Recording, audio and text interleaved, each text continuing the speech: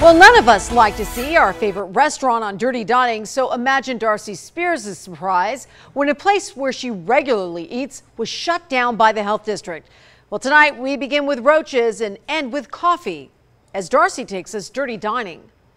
Aloha! Aloha Aloha Kitchen on Decatur and Sahara tops this week's Dirty Dining list with a 38 demerit C grade. And we apologize to all of our uh, customers out there, and we work very hard to correct all of the issues. Their issues included a fridge condenser dripping onto an open container of banana pancake batter, raw tuna poke at an unsafe temperature, and a cutting board and pan in clean storage that were soiled with food debris.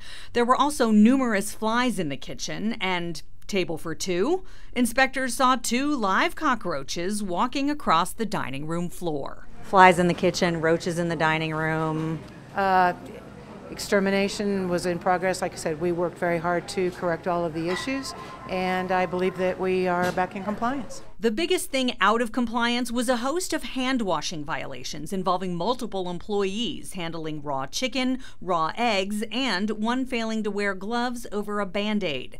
See the piece of eggshell on this pork cutlet? An employee didn't wash his hands between cracking raw eggs and handling the ready to eat food. Thanks to the inspector, it was thrown in the trash instead of served to the customer. And that's kind of a basic thing that I know you probably expect all your employees to have figured out. Right, and we have gone through retraining with all of that.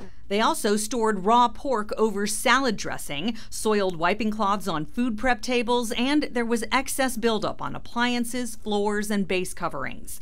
Manager Karen Simonson says the C grade was a shock, but also a wake up call from health inspectors. But, you know, like I said, we appreciate their, uh, you know, all of their input all the time because, you know, we all eat out, we all do. The first imminent health hazard closure came at a place where I eat almost every week. Kung Fu Plaza restaurant on Spring Mountain and Valley View was shut down for a cockroach infestation. There were live and dead multi generational German roaches in the kitchen and on wheels of equipment.